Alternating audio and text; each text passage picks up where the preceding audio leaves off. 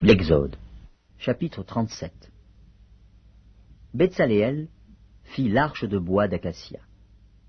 Sa longueur était de deux coudées et demie, sa largeur d'une coudée et demie, et sa hauteur d'une coudée et demie.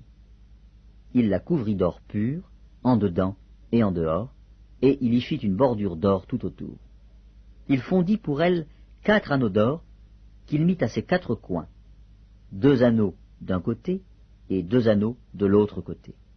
Il fit des barres de bois d'acacia et les couvrit d'or. Il passa les barres dans les anneaux sur les côtés de l'arche pour porter l'arche. Il fit un propitiatoire d'or pur. Sa longueur était de deux coudées et demie et sa largeur d'une coudée et demie. Il fit deux chérubins d'or. Il les fit d'or battu aux deux extrémités du propitiatoire, un chérubin à l'une des extrémités et un chérubin à l'autre extrémité il fit les chérubins sortant du propitiatoire à ses deux extrémités.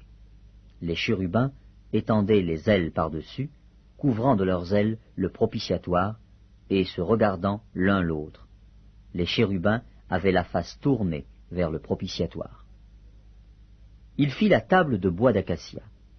Sa longueur était de deux coudées, sa largeur d'une coudée et sa hauteur d'une coudée et demie.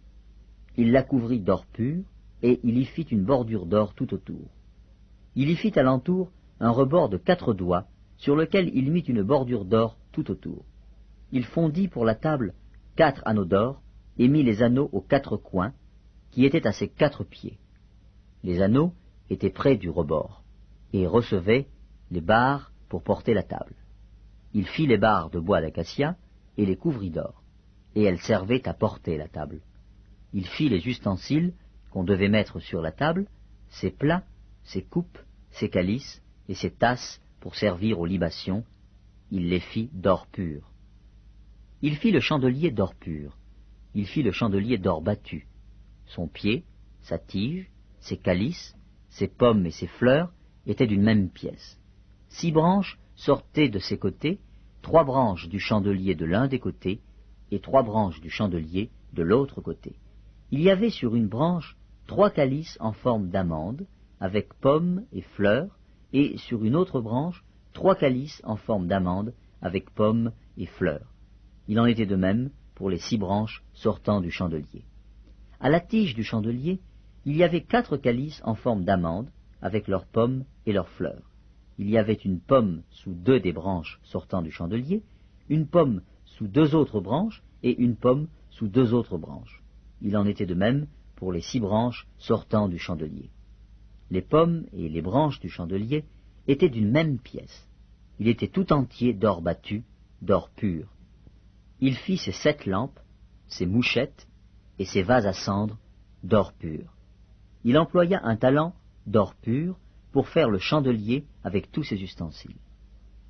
Il fit l'autel des parfums de bois d'acacia.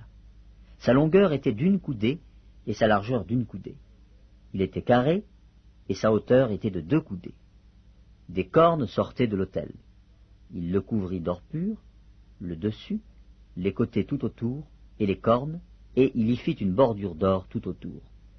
Il fit au-dessous de la bordure deux anneaux d'or aux deux côtés.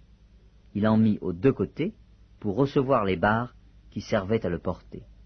Il fit des barres de bois d'acacia et les couvrit d'or.